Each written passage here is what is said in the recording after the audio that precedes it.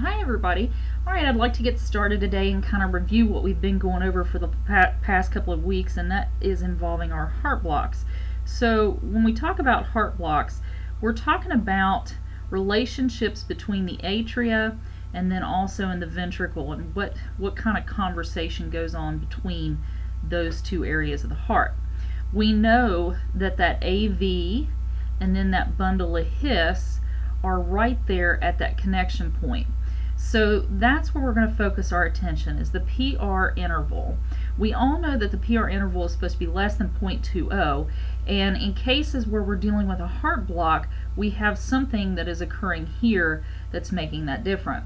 So if you come over here and look at this first one and you find one that marches out, this one does a pretty good job of marching out. Right there's the initiative and then there's the, end of the PR interval.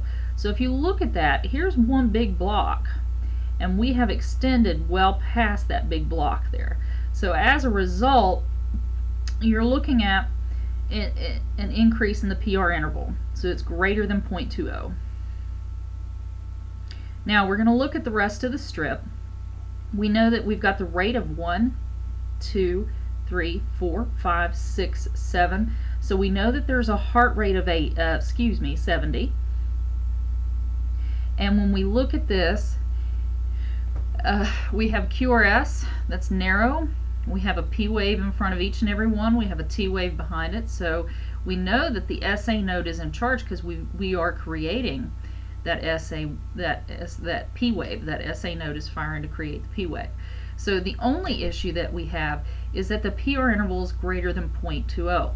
That means that this one is a sinus rhythm at a heart rate of 70 with a first degree heart block. So that is going to be our answer to the first one. Now when we look at the second one here, this one is a little bit different. If you look at this, let's start with what we know. So we go with the rate. There's three, four, five, six, seven, and we don't have quite enough to add another one in, so we were going to say that the heart rate on this one is also 70. But if you compare that to the one above, there's a big difference because you've got group beatings here. You've got a whole section of them that are running separate from the rest of the strip. And if we took this and we extended this out, you could probably have the continuation on this way. So when we're looking at this, we're going to, to do a comparison. We know we've got group beatings. That's indicative of an issue. So we're going to look, we've already counted our Q waves. We're going to look for the P waves. Well, we have one here. You have another one here, here, and then you also have this one right here that's unconducted. And it's not going anywhere. There's nothing behind it. So what we're going to do is we know that we have a problem at the junction. So we know that there's an issue over here in this region. So now we just have to identify it. And we're going to identify that by looking at that PR interval again. So we're looking at the PR interval. We see here, sorry, let me get that off there. We're looking at the PR interval, and if you compare this PR interval to this PR interval to this PR interval, you can see that they gradually get wider and wider before they drop a beat. This is called a second degree type 1 heart block, or sometimes it'll be referred to as an AV block. But this is this is that uh, that continuation or that extension, and it means that the condition has gotten worse. And a lot of times when we talk about the second degree type 1 AV blocks, we, we identify those uh, with the husband and wife, and we talk about the wife being the P wave, and then the QRS complex is the husband.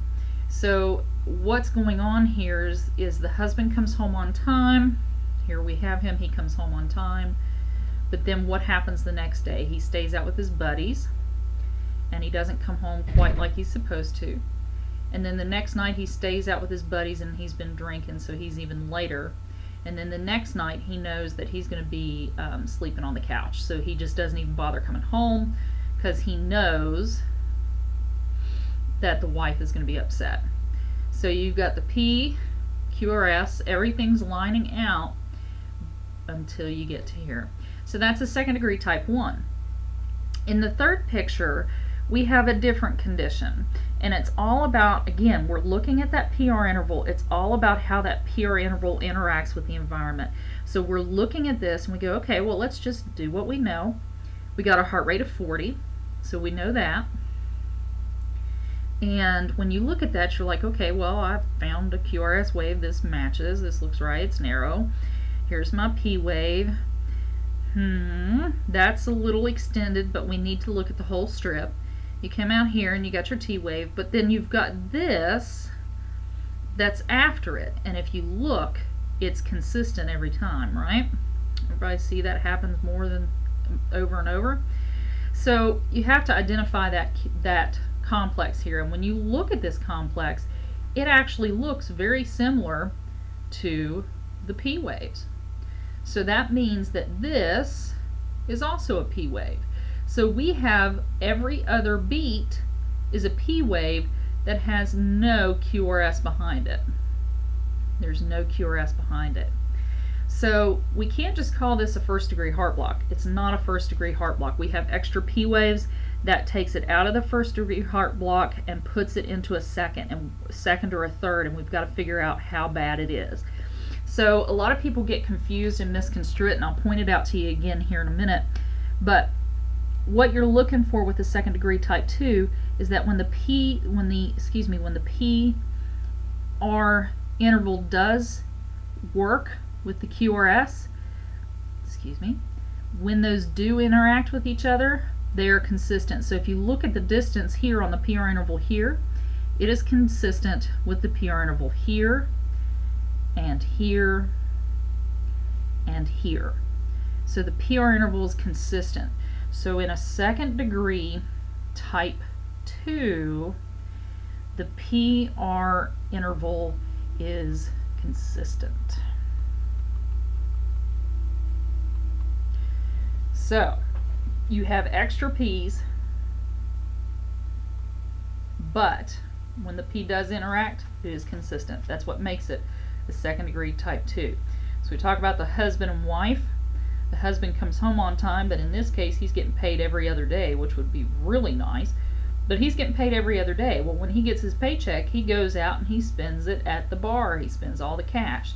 So now, not only is the husband um, interfering with the relationship, but he's also interfering with the money.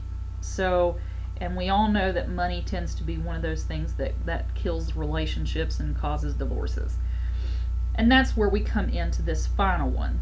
If you look at this final one, you say, okay, well, fine, what we recognize, there's one, two, three. So you have three QRS complexes, so we're going to make that a heart rate of 30. We have a heart rate of 30, and you've got P waves. So you come here, you find one you recognize, we're going to come back. Okay, so this is our P wave. And you're like, all right, good to go. There's the T. And then you're like, wait a minute. There's a P wave. There's a P wave and there's a P wave. And you're like, huh, well, is it a second degree type 2?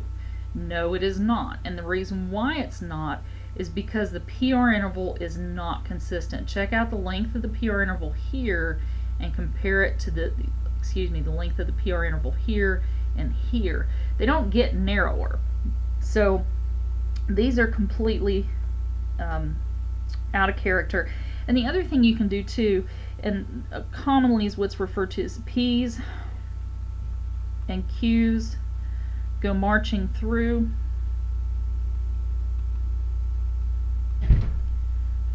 with no relation between the two.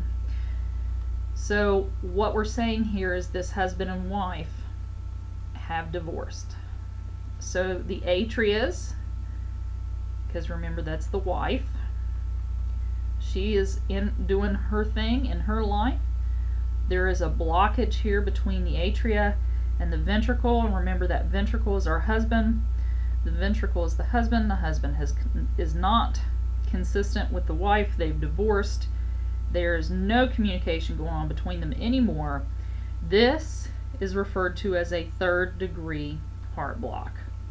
So that's the difference between each one. I hope this kind of helps put it in perspective.